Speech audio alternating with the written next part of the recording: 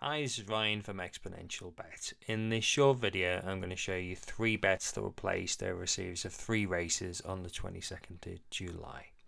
Now you can see there, I've placed a lay bet on number 8, Nick Nap. The OP, VF and OP plus VF are all shown blue. Now I have blue as bad with my setup because you can customize the colours and the numbers are also very high on that horse. Uh, it's early in the race and the tactic is to find a horse that gets off to a bad start and is unlikely to have enough in the locker later on to catch up.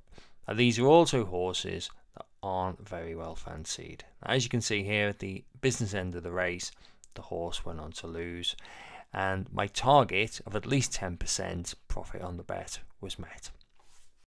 Now, same again in the next race, just tracking it very early on and looking for the horses here. You can see there's a lot of blue on that horse and just trying to gauge which horse hasn't got off to the best of starts.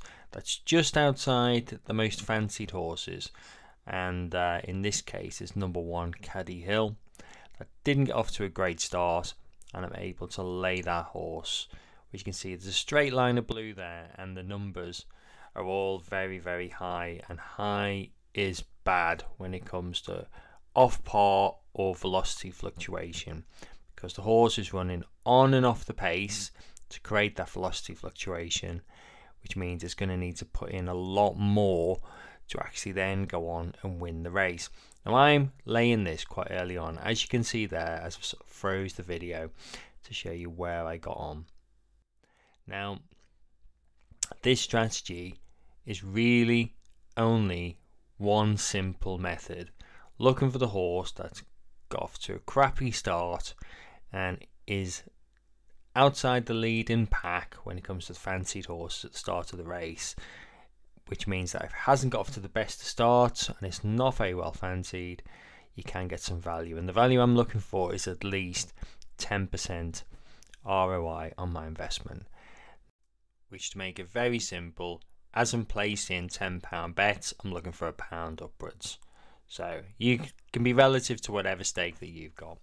In this race, you can see the horse following the same rules that got off to a crappy start. At this point, at the point where I've just highlighted it there, was number four, Matewan. At this moment, it's Artman. And what I'm doing in this race is applying the same filters where I'll spot a couple of horses maybe two or three, and I'll look for the ones that didn't get off to a brilliant start using the same rule.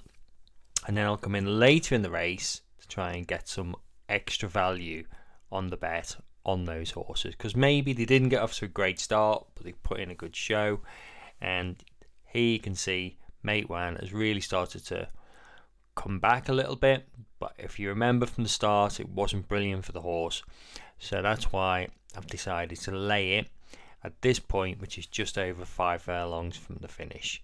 Now the odds are better, so for the bet, I'm getting over 10% profit on that for the lay bet and it's the same technique it's the same selection that I would have made right at the start of the race when the odds were higher so skipping to nearer the business end you can see the horse is now drifting out and I'll tell you now no spoilers, that the horse loses and I win the bet. So that's a, a, simple technique that you can use there just to spot horses that get off to a poor start and then if they're just outside the top horses they're more than likely going to struggle to get in contention near the end of the race. Okay, hope that helps. Thanks.